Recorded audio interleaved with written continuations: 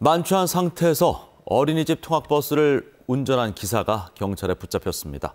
음주운전에다 교통사고 전력도 있었지만 통학버스를 운전하는데 아무런 제약을 받지 않았습니다. 정경 기자가 보도합니다. 아찔했던 50분. 어제 오전 8시 20분부터 9시 10분까지 65살 정모 씨는 술에 만취한 상태로 부산 범일동 일대에서 12인승 어린이집 통학버스를 운전했습니다. 원생 2명이 인솔자와 함께 타고 있었습니다. 아침에 막 걸어오고 엄마들이 걸어가지고 난리가 났어요. 아니 근데 술이 약하더라고. 전날 새벽까지 술을 마신 정 씨는 술에 취한 상태에서 택시를 타고 돌아와 어린이집 차량의 운전대를 잡았습니다. 사고로 이어질 수도 있었던 아찔한 상황. 정 씨의 혈중 알코올 농도는 만취 상태로 면허 취소 수준이었습니다.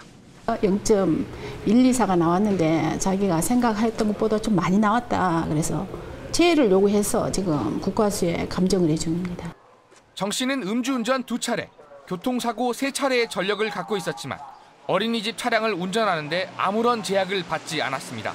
성 전과자들은 확인할 방법이 있는데 음주운전을 한다, 무면 운전을 한다든가 뭐 교통사고로 인해서 사고에 있는 전과자들은 다행히 사고로 이어지지는 않았지만 특히 안전하게 운행돼야 할 어린이집 통학 차량 기사가 벌인 만취 음주운전에 학부모들은 놀란 가슴을 진정시키지 못하고 있습니다.